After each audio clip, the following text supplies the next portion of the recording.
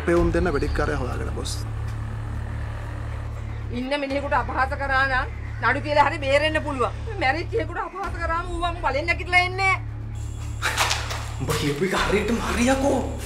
එතන මම මේ ඔලුගෙඩි මෙහාට අරගෙන ආවේ.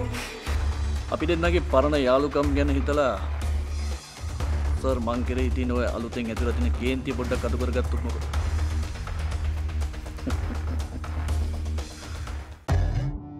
අක්ෂේ මම්මුලාව් මිනිසත්කම